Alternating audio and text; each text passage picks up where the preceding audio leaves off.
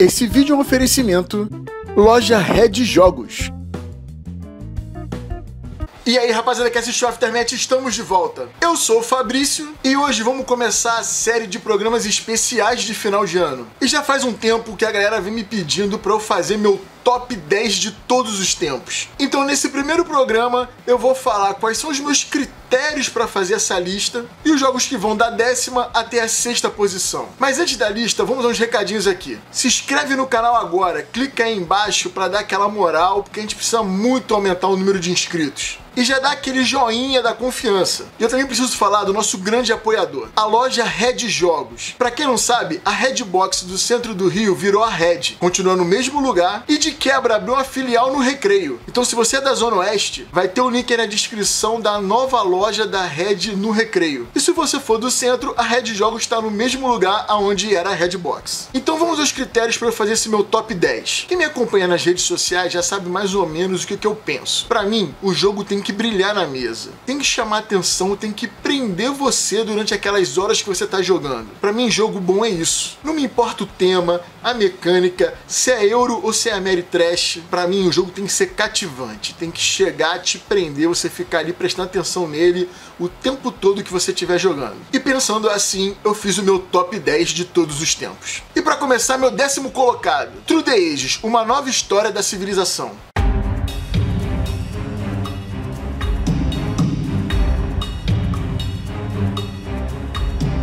Para quem foi nerd lá na década de 90 e teve os primeiros computadores pessoais, acabou sendo fisgado pelos jogos de civilização. Então eu sempre fui louco por Civilization. E é óbvio que quando eu descobri que tinha ele para board game, eu fui lá e joguei. Mas ele me decepcionou absurdamente. Depois eu joguei outros jogos como História, mas nenhum deles me fisgou como os jogos eletrônicos de civilização me fisgavam. Mas os meus amigos sempre me falavam que quando eu jogasse True the Ages, isso ia mudar. E mudou. Quando eu tive a experiência de jogar True the Ages, eu me senti de volta aqueles jogos eletrônicos para computador. A forma de você gerenciar o avanço de tecnologia, gerenciamento de recursos, combate, ele só não tem a exploração de tiles, mas toda essa parte de gerenciamento é muito bacana. Conforme você aumenta a população, você aumenta a corrupção, fica difícil você gerenciar isso. As formas de governo que deixa o jogo bem interessante. Resumindo, True the Ages é um ótimo jogo de evolução de civilização. Meu nono colocado, Imperial.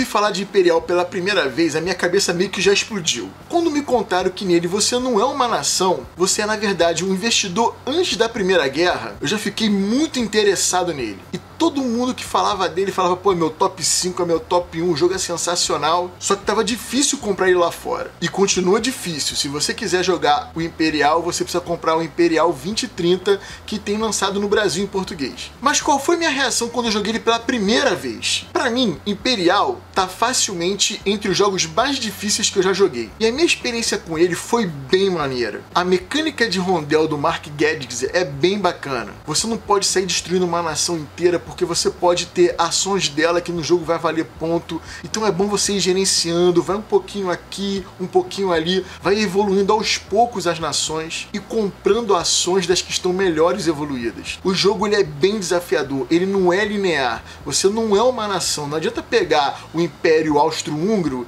e querer dominar tudo, porque não é assim que funciona. Então, para mim, a dificuldade e o charme dele tá nisso. Você colocar na sua cabeça que você não é uma nação que você é um cara que só está interessado em ganhar dinheiro com a guerra. Então, amigo, se você não jogou Imperial ou Imperial 2030, dá um jeito de jogar que você vai ver que ele é bem desafiador. Na oitava colocação, Five Tribes.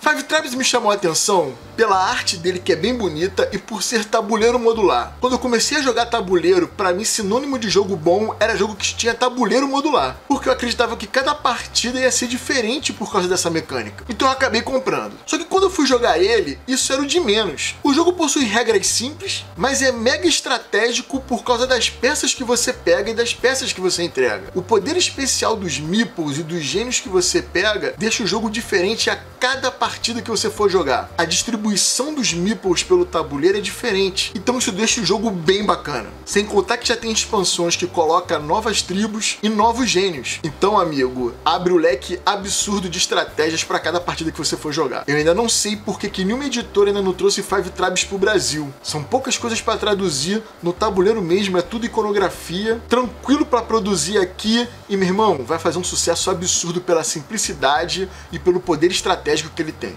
Na sétima colocação, Dominion.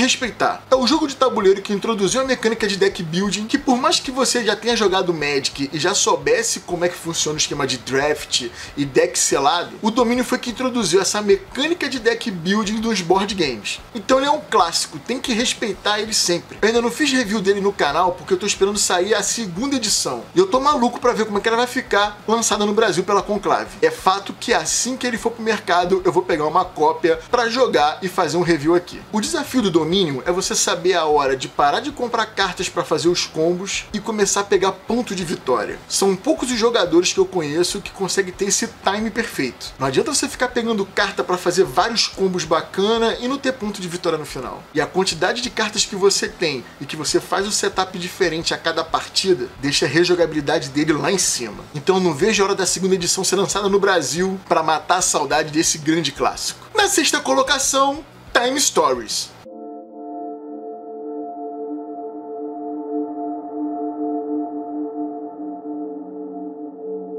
Muita gente entra no mundo dos jogos de tabuleiro pelos jogos cooperativos. O problema disso é que dependendo do grupo que te introduzir, pode ter um cara que vai ser o alpha player e pode estragar a experiência do resto do grupo. O Time Stories é um cooperativo que é impossível ter um alpha player. A mecânica do jogo de cada jogador entrar numa área e ler a carta para ele mesmo não permite esse tipo de jogador. Todo mundo tem que conversar, todo mundo tem que se entender e focar no objetivo. Então, para mim, Time Stories é o melhor jogo co-op de todos os tempos. Só que isso é muito pequeno pro que o jogo é de verdade. As histórias do Time Stories são sensacionais. Cada caixa de expansão vai ser uma história diferente que você só vai poder jogar uma vez. Só que eu acabei de descobrir que o prólogo, a historinha que eles contam antes de você viajar no tempo, possui uma sequência, cara. Então, meu amigo, os caras brilharam muito. É uma historinha no mundo real do jogo e uma história quando você viaja no tempo. Eu já joguei três expansões e as três foram completamente diferentes. O Asilo que vem na caixa base, The Mercy Case e agora eu tô jogando a Endurance. Todas elas sempre fazem meus olhinhos brilharem, cara. Mecânicas diferentes, acontecimentos diferentes, problemas completamente diferentes para você resolver. É um puzzle diferente a cada partida que você joga. O problema é que o Time Stories ele é todo em inglês. Então se você não saca do idioma, meu amigo, não tem como jogar. E eu acho muito difícil uma editora nacional trazer ele, porque vai ser muita coisa para traduzir. Acho que é mais jogo você aprender inglês. Bem, rapaziada, a gente vai parando por aqui. Na quinta-feira vem a parte final desse vídeo. Não esquece de ir aqui embaixo na descrição do vídeo e visitar o link do nosso apoiador, a Red Jogos. Eles estão dando uma moral absurda aqui pro canal. Também não se esqueça de se inscrever, de dar joinha, escreve nos comentários qual é o seu top 10. Assista esses dois vídeos aqui do lado. Um forte abraço e valeu!